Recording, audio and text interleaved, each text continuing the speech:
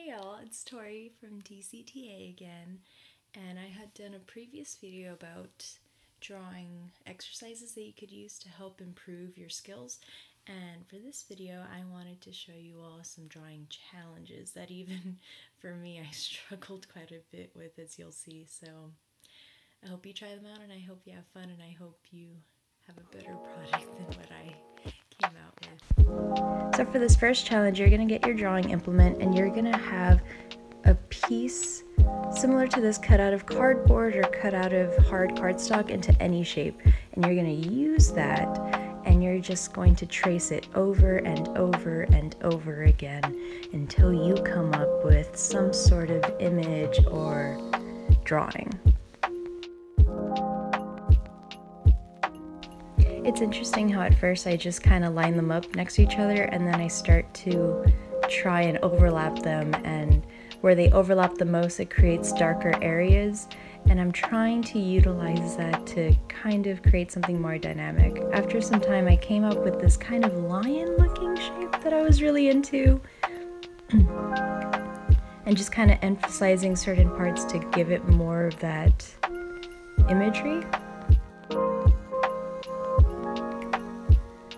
I then fully committed to my little abstract line and I just wanted to cut it out so it has the whole presence of the paper and then just kind of use the shape to give it some sort of background. This was actually really difficult and took quite a bit of time, but I'm pretty happy with the end product. Your next challenge is pretty simple. You're just going to get your paper and your pen and you're gonna find some object in your house. I found this really old GameCube controller. I hope you know what this is. And I'm just going to draw it 10 times and have it a different time a different way each time. So my first one, I just decided to trace it out. I thought that was an easy way to get the first drawing of it down. And then for the next one, I just drew, drew it in the way I sketch just the way I primarily sketch things, and then I did something a little more rendered and from a different perspective. I also have one next to it where it's just like a really clean outlined look. I also challenge myself by just like having lines going in one direction and trying to just do circles. Like this whole prompt is just you trying to experiment with different ways to draw this object. I also drew a really tiny one just have fun. Drawing something 10 times in 10 different ways is really challenging, but it's really good at helping you get out of your comfort zone in drawing. For your last challenge, you're also going to need paper and a pen, but you're also going to need to use your hands because you're going to feel objects in your hands and you're going to draw what you feel. You're not allowed to look at it at all. This is where you need a buddy to help you.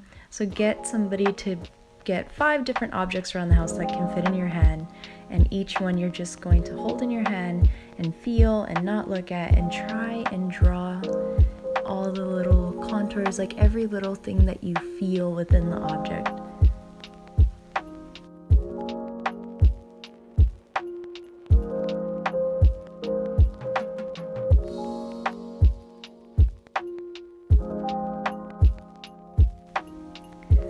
Pretty close to my first object. I got the little diamond shape and the little circles on the end.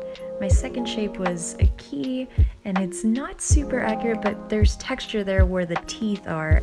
And sometimes you can only get just kind of close to what the object is through feeling it.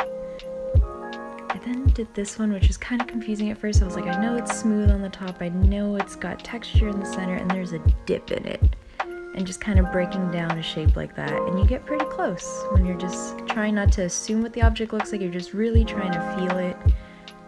Yeah. Sometimes you do know what the object is. Like I clearly knew in my hand I was holding a dice. Whereas I was like, it's clearly a dice. So I challenged myself to try and get the angle right. Like if I feel it from this part, am I gonna get the right number of dots on the top and on the side and on the other side? So I really just focused in on that.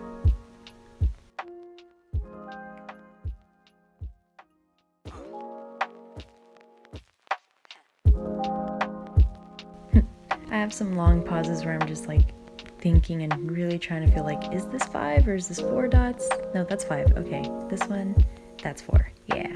and I got it. See, six, five, and then four dots. I was just really trying to feel with my fingertips every little crevice that I could.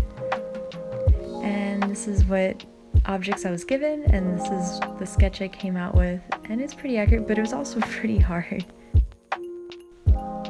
So in total, these are the three different challenges. Drawing something 10 different times, using one shape and tracing it over and over, and drawing without looking at your objects, just feeling it with your hands. I hope this was fun. As always, thank you for watching.